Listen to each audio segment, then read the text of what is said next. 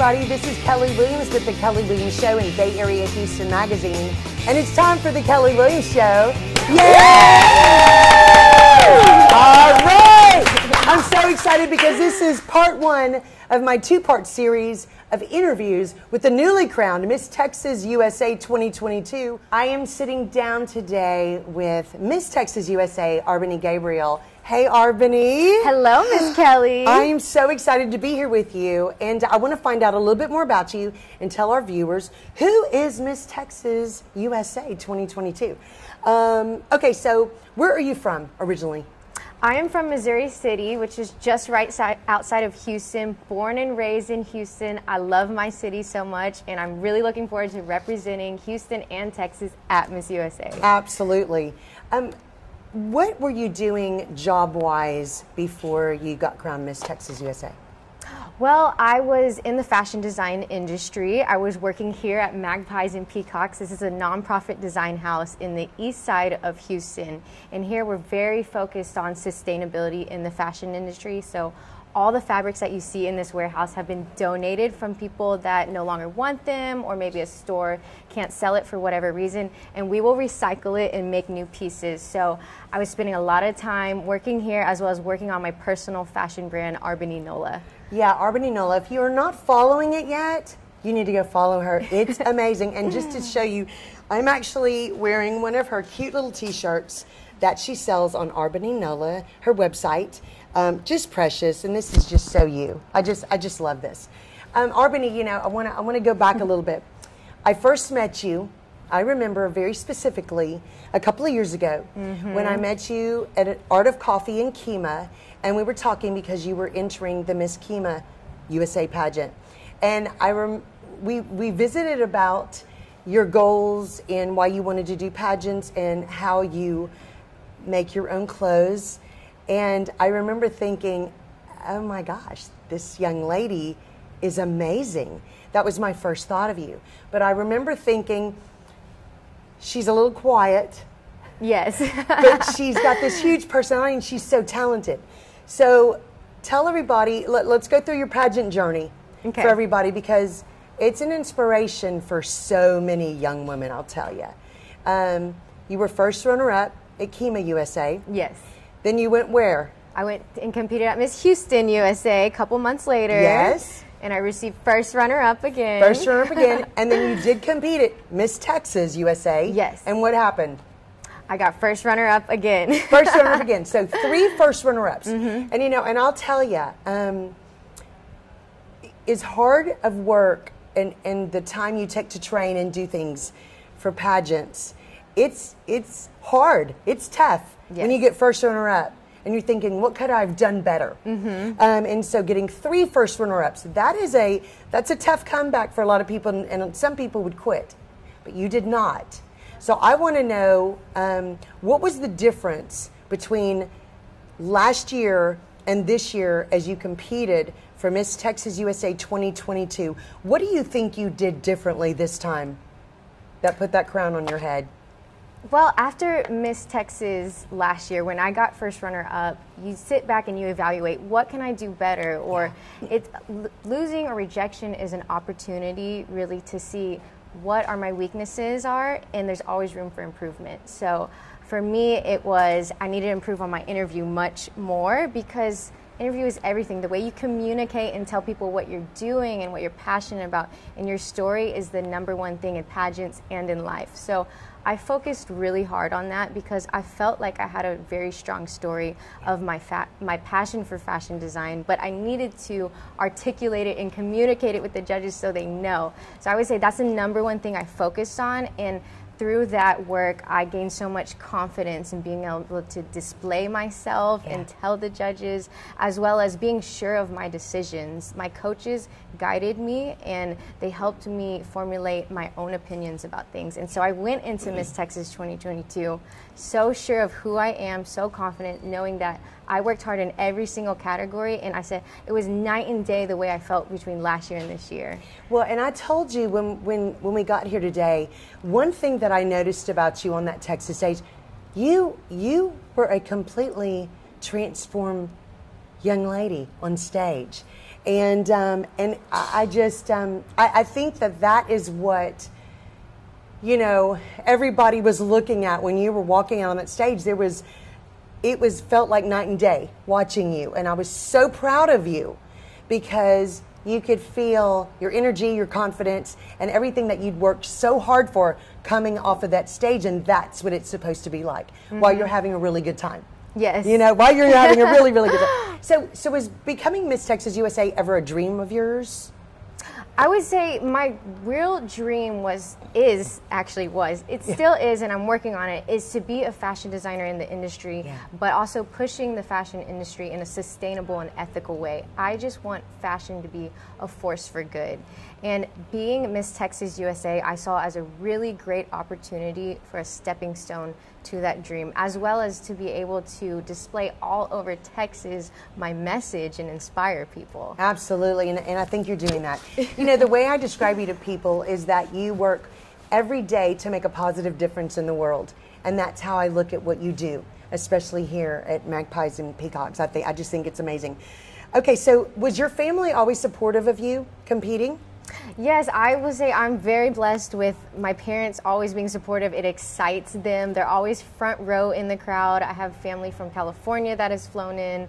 I have family in Australia, in the Philippines that are always contacting me. So I'm very grateful for all the support from my family. That's wonderful, isn't it? Mm-hmm. It, it really is. It's everything to have support. I love that. Okay, so going back to that crowning moment, what do you remember about being crowned that night at Miss Texas USA? I would just say the feeling was pure bliss. It was surreal. I was excited. It was just an amazing, you just feel a feeling, you just feel like you're on top of the world. Everything that, every feeling of happiness or any word under that category of happy, that is what I was feeling. well, I'm so excited for you. Okay, so your gown was stunning. Thank you. So now you had mentioned who where where did you get that gown from? How did you choose that gown? So that gown is from an amazing Filipino designer, Rian Fernandez. Wow. He has his studio in the Philippines and his craft is exceptional. I wanted to go with his gown because his talent is impeccable and also I wanted to support his craft. Yeah, I love that. Well, from one designer to another. I know you appreciate all his hard work. Yes. It was stunning on you. It was it was amazing. Um, okay, so really quickly, I, I want um, the camera to look around. All of these things, she th- these are some of R'Bonney's designs that you're seeing right yes. here that you made by hand, right here. Um, it's they're incredible. What joy does it give you to be able to make your own clothing? I will say when I finish a piece, I'm like, woo, it's finally done. Like two weeks later, or however many hours two later. Two weeks. I'm sorry, it would take me a year to make something like this, and it wouldn't look like this. hey, I can teach I don't know you. if anybody would fit in. I can teach I, you. I would love that. I want to take some of your classes. We're going to yes. talk about that but but I mean it's it's that proud feeling that okay I, I worked through the kinks I worked through the problems I maybe had to remake it but once it's done I get to put it on and do a photo shoot with it or wear it to an event and it's a really great feeling. Yeah I, mean, I, I, can't imagine that feeling so I would love to know that feeling. Well, hey you know what? I'm going to tell you something. In, in junior high or high school I actually did make my own shirt and it had ruffles okay. and everything. It was really good and I saved it until like a 10 years ago. I can't find it. But I remember thinking, look what I made. I did really good. You're going to so have to find that. I am going to have to find it and I'll show you. But I would, um, I, I love the creativity and the freedom that you have when you're able to make your own clothes. Absolutely. It's, there's no rules. Mm-hmm. I like no rules. You know that. Kelly Williams Same has no rules. That's right. That's right. I love it. Okay, so um, I, I want to know what are you doing to compete and get ready to compete for Miss USA coming up? Well, it's training every day in yeah. one way or another. So, as a designer, I'm making some of my pieces. I'm working on them in my studio. It's exciting. As well as maintaining the body and working out, eating healthy. I eat the same thing every day. I have a very strict plan. It's pretty boring, but um, it gets the job done, and it's all part of the bigger picture. And I want to say I'm I'm doing interview training. That is so important. And Very. just really protecting that mindset and keeping yeah. it fresh and confident. Yeah, I love that. I love that. We're going to talk a little bit more about your food and beauty tips in just a little bit. We're going to get some of those tips from okay. our Miss Texas USA. Um, okay, what, how do you think being crowned Miss Texas USA has, has changed your life so far? I think it's just opened up a world of possibilities and a bigger network, and Yeah. it's amplified what I'm already doing and my mm-hmm. message to inspire people to go after their unique craft or their unique greatness or find their unique greatness. So, being Miss Texas USA, it gives me the opportunity to do more workshops, more sewing workshops or painting workshops. So, I'll visit schools and do a class because I think life is all about giving people opportunities. It helps them. Find what is special inside them. So I'm amplifying my voice through that. I love that. That's what everybody should be doing, helping others to help themselves and teaching what we the gifts that we have teach them to others. Yes. Um, what do you think one of your best pieces of advice would be for young women because you now have become a an even bigger role model for so many young women, um, not even just in Texas but all over the country. What, what advice would you give them? I think it's a very simple statement, which is believe in yourself. I know we have heard that so many times, but I will say in my early 20s, I thought I believed in myself, but I really was not operating at my fullest potential. Yeah. I didn't believe that, okay, I could be a fashion designer or a model. I thought, okay, maybe I can get a few jobs or I can sell a few clothing, but I was limiting my beliefs that I can really take this to the next level. So I would tell young girls do not limit yourself. You can really do anything that you put your mind to and also put your work into. Absolutely. I always believe that God does not put limits on us. We put our own limits on ourselves. Amen, yes. teaching that to young women is a huge deal. Yes. Um, I just love, I love, love, love that about you. Um, okay, so what exactly is your actual platform that you are trying to promote through um, as Miss Texas USA and what you will take to Miss USA? What I'm going to take to Miss USA is what I'm already doing in Texas, which is inspiring other people to find their unique greatness. I think we all have a responsibility to, to discover what's inside of us, that what do we bring to the world? We all have something to offer.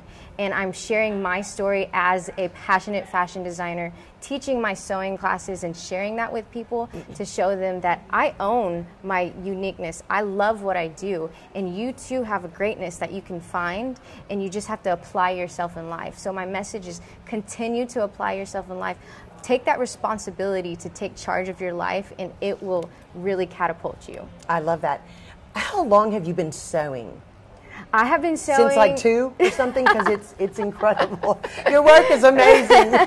Thank you. I started in high school, so Okay, well, there you go. Yeah, I started making my homecoming dresses and prom dresses, and it really just took off from there. Do you still have those? I still have them. I can't let go of them. oh, I'd love to see them. That is awesome. I can pull up some photos for you. we can share I'd like to compare it to my shirt I made. Oh, I would. I have to see. It. We'll have to switch photos. I want to see yours too. That's right. That's right. I'd love to see those. How exciting! Yeah. that's amazing. That's right. And you probably fit in it still. You know what? I, I just might. I love that for you. Okay, um, have you have you found yourself struggling with anything in your life that has really helped you to um, to become a better Miss Texas USA?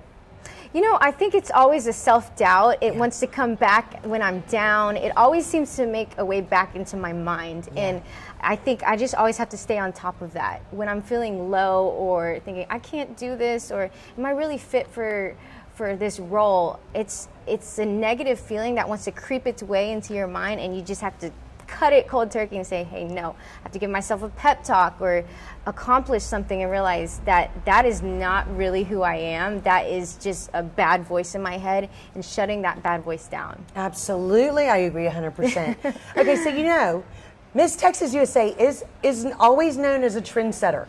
and and somebody that you want to follow and always look at what she's wearing and fun things. Um, what are three pieces of clothing you cannot live without? Ooh, okay. Off the top of my head, a sharp blazer that goes with it can go with your shirt and sneakers, or you can dress it up. So Love it. it's interchangeable. Another one is my favorite pair of sneakers. I love Nike Air Maxes, so I keep one in the in my trunk actually, just because if I'm working around in heels all day and I want to change into sneakers, I have my Air Jordans or my Air Maxes. Love it. And then thirdly, I would say the shirt you're wearing actually, which is if not now then when. That is my brand shirt and I wear that across my chest because the message Love is it. to go after whatever you want to do, whether that's taking a vacation or starting a new role in your job or asking for a raise, anything. It's, if not now, then when? Now is the time. I love it. I love that. Okay, so um, what do you think the best advice is that someone ever gave you? I always think about what my father has taught me since day one, and it's that you don't have to be the smartest person in the room to get the best grade, but it's the work you put in. You just have to outwork everybody, and you can get the best grade. It's not your natural given talent, but it's what you choose to do every day to get your goal. Absolutely. Okay, so you, you know your your pageant career has not been a, a, a very long, long, long one.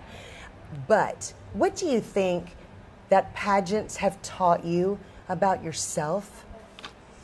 I think self work is so important. I think I would say pageants, you are studying yourself. Yeah. And that's something I really wasn't doing before. I was studying people that I was inspired by, motivational speakers, successful people, athletes, fashion designers, and analyzing how did they become so successful. But pageants taught me you need to analyze yourself. What are your strengths? What are your weaknesses? And what can you bring to the table? And I think that's life skills that everybody can apply to themselves. Absolutely. And I think pageants are a little bit misunderstood. Yes. I don't think you are, you're not really competing against other young women. You're competing with yourself. Yes. Of what you can bring to the table. And it's such a growing experience for young people. It's just, you, you wish everybody could experience competing in a pageant because it's such a wonderful opportunity for growth. Yes. Um, I just, I, I love that. What do you think so far have been some of the most fun things you've gotten to do as Miss Texas USA? Ooh, oh my gosh, where do I even begin? Well, actually, first, when I won Miss Texas USA, they threw a party for me that night, and all my friends and family and sponsors were right there, and I had not seen them in so long because of training. I so love that. That was like an, an initial first amazing memory that I've been able to make. That is exciting. I mean, especially happening that night for you. I Yeah. love that. I love that. Um, okay, so if this is a little bit more fun question, this is kind of a top five question, Ooh. icebreaker. If we looked in your refrigerator right now, what would we find? Unfortunately, not a lot right now. It is, I live by myself, and only about 25% of my fridge is occupied, and that's with green veggies, salmon, and three different hot sauces. Wow, I love it. All sounds good. okay, what are what are three important pieces of skincare advice that you that you would give our viewers that you do every day? Okay, moisturize, moisturize, moisturize. When you wake up and you go to bed, you can go to CVS or Walmart and buy a basic moisturizer, but just keep that skin glowing. And then always wash your face before you go to bed. Ladies, do not go to bed with makeup. I cannot do that. I'll break out. I don't know how my friends do it. No, and then the pillowcases get all messed up. Who wants to deal with that? Exactly. Yeah, that's hilarious. Okay, so um, what are three workout tips that you could give our viewers? Okay, number one is don't be hard on yourself. If you miss a day, just get back the next day, okay? Like the relationship with the gym, you should not be hard on yourself. You just go and get it done and keep it moving. Don't ever fall off. Two is always push yourself. If you did 10 pounds one day, the next day, move it up to 12. And I think three is get a workout partner to help you motivate. And it makes it so much more fun when you're like, oh, I don't want to go to the gym. Absolutely, absolutely. Having somebody to motivate you is, is a really big deal. Yeah. It's a huge help. Yeah. I'll tell you. Okay, so if you could have one, just one superpower, what would it be? I would love to fly. Oh my gosh, I would love to be able to fly anywhere in the world. I love to travel to other countries, and I think it would be so cool to just get up and go and then land in, Yeah. in the Bahamas or the Philippines or wherever. I love it. If you get that superpower, will you call me and I'll go with you? You can take a ride. That would be awesome. on my I- I'm on my there, I'm there. magic carpet.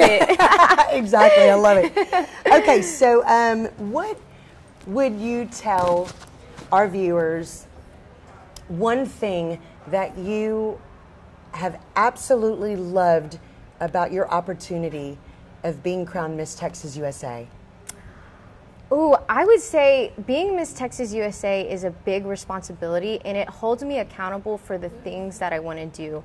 It, whether it's community work, it's things that's, oh, I really, people always say, or I've always said, I want to help out here and here and here, but then time goes by and maybe I don't end up doing it. And as Miss Texas USA, I have a great role to actually execute everything that I plan to do. So actually last week we did a school drive where we handed out schools in the sunny side of Houston. Love that. And that's a that's a more low income side of Houston and the kids came in, they got backpacks, they got to pick out their color and it, it was amazing and Miss Texas USA is always pushing me to look for ways that I can make an impact. Yeah, I, I love that. I love that. I, okay, so, um, R'Bonney, first of all, when is Miss USA?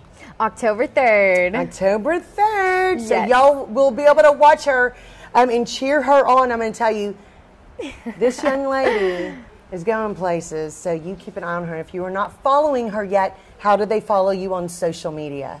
Please check me out on Instagram or TikTok. It's R'Bonney Nola. I put a lot of my sewing and design videos, modeling videos, Miss Texas USA events on there. So I would love to connect with y'all on that way. All right. R'Bonney, thank you for today. Thank this has been amazing. Guys, stay tuned for my part two interview um, with Miss Texas USA, R'Bonney Gabriel, when we're going to find out all about one of her biggest passions and some things she's got going on. You don't want to miss it, so stay tuned for that later. You can watch The Kelly Williams Show every week right here on Facebook and YouTube. And we'll see you later.